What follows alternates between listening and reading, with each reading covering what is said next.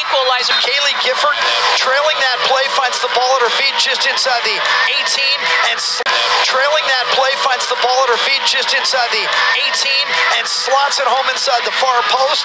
California was able to exhaust the last 90 seconds and they beat the Bruins to open the season.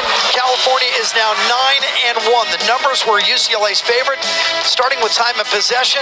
Lucadeza, her fourth of the season. Gifford the game-winning goal, her first of the year and one she will never forget.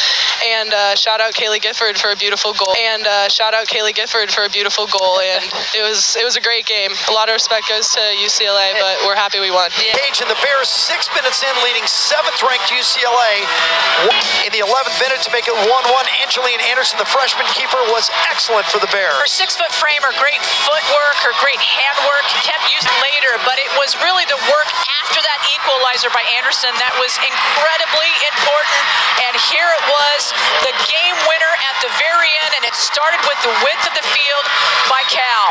88th minute, Kailee, Kailee Giff- Gifford trailing that play finds the ball at her feet just inside the 18 and slots it home inside the far post. California was able to exhaust the last 90 seconds and they beat the Bruins to open the season. California is now 9 and 1. The game winner at the very